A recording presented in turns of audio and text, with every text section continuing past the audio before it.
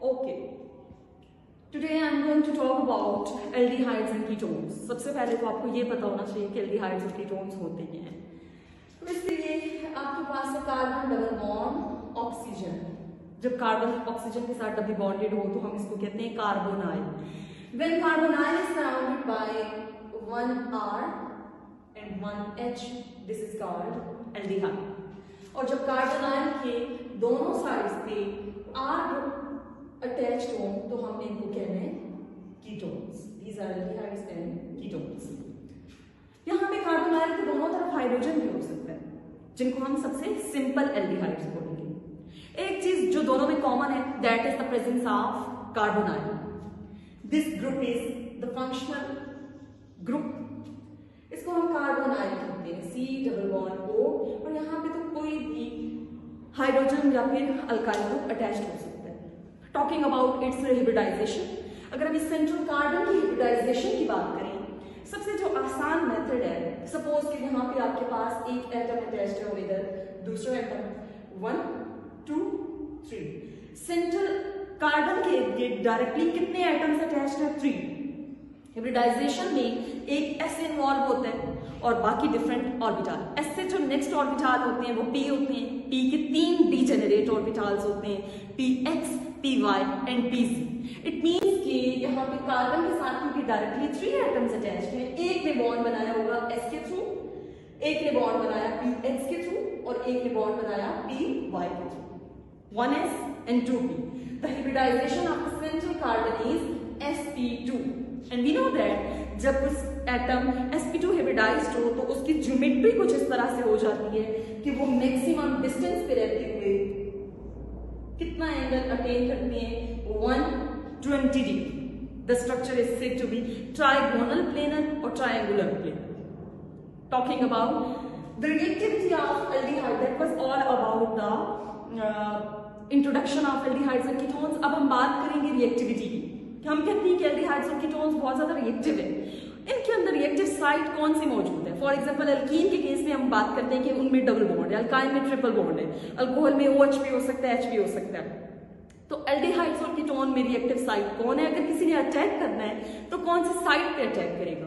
तो यहाँ पे एक ही reactive site that is carbonyl इस कार्बोनाइल पे कोई भी स्पीशी अटैक करती है। Why why this is so reactive actually this carbonyl in this carbonyl double bond is present between carbon and oxygen ये नॉर्मल वाले अल्कीन जैसा डबल बॉन्ड नहीं है, जो कि कार्बन कार्बन के दरमियान होता था। दो सिमिलर एटम्स के दरमियान डबल बॉन्ड होता था।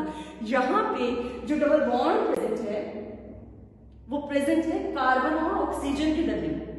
Oxygen is second most electronegative element in the periodic table electronegative होने का मतलब ये है कि it has tendency to attract electron toward itself कि यहाँ पे अगर डबल बॉन्ड के अंदर इलेक्ट्रॉन्स अवेलेबल हैं और कुछ ऐसे इलेक्ट्रॉन्स जो कि थोड़े लूजली पैक्ड हो, जो न्यूक्लियस जिनके ऊपर न्यूक्लियस की अट्रैक्शन कम हो ऑब्वियसली वो पाई बॉन्ड्स होते हैं. एक डबल बॉन्ड के अंदर एक सिग्मा और एक पाई बॉन्ड होता है.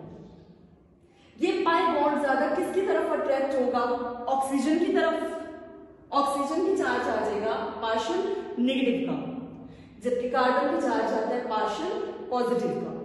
Due to the presence of this polar and double bond between carbon and oxygen the carbonyl is said to be very reactive in nature किस किस्म के रिएक्शंस देते हैं? एक्चुअली ये दे सकती हैं addition reaction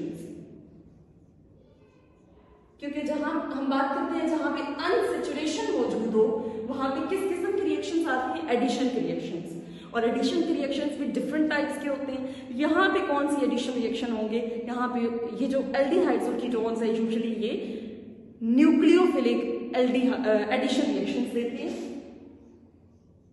Is by nucleophilic addition actually for example हम start करते हैं एक जनरल रिएक्शन में, जिसमें C double bond O H H ये मैंने सबसे सिंपल एल्डिहाइड है। इस एल्डिहाइड को हम ट्रीट करते हैं एक न्यूक्लियोफिलिक रिएजेंट के साथ। This is not only the nucleophile but it is nucleophilic reagent इस पूरे रिएजेंट से हमें न्यूक्लियोफाइल मिल सकता है। Nucleophile is the species which carry negative charge these are nucleus loving nucleus के अंदर तो प्रोटॉन है। इट मींस कि इनके अपने इलेक्ट्रॉन्स होते हैं जो कि नेगेटिव चार्ज की फॉर्म में हम इनके ऊपर रिप्रेजेंट कर सकते हैं।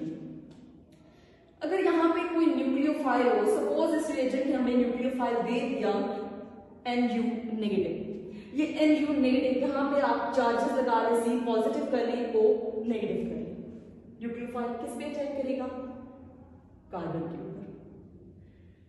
क्या प्रोडक्ट बनेगी आपके पास?